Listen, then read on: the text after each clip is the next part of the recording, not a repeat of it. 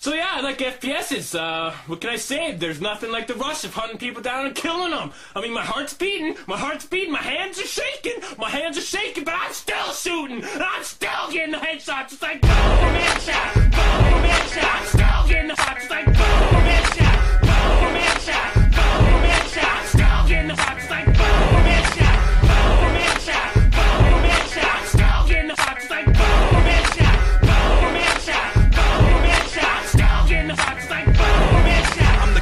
the ring when I'm in the arena. Cause I'm beating everybody like when I beat Tina.